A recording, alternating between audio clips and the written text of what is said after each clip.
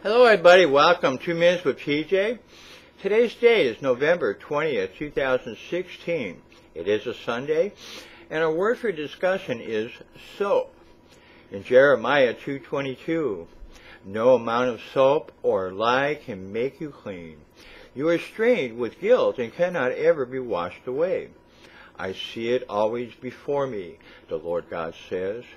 In Job 9:30 31, if I should wash myself with snow and cleanse my hands with lye, yet you would plunge me into the pit, and my clothes would be a pure me.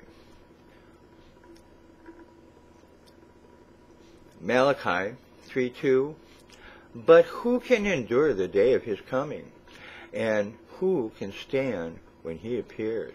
For he is like a refiner's fire, and like fuller's soap. In Hebrews 12:28 and 29, Wherefore we, we receiving a kingdom which cannot be moved, let us have grace, whereby we may serve God acceptably with reverence and godly fear, for our God is a consuming fire. In 1 John 1 7, if we say that we have fellowship with him and walk in darkness, we lie and do not tell the truth. But if we walk in the light as he himself is the light, we have fellowship with one another. And the blood of Jesus, his son, cleanses us from all sin. This word defined in the Bible, it's a Hebrew term, borith, and it's a general term for any substance of cleansing qualities. Here it is an acronym for SOAP. Stands for Scripture, Observation, Application, and Prayer. It is a way of getting more out of your time in God's Word.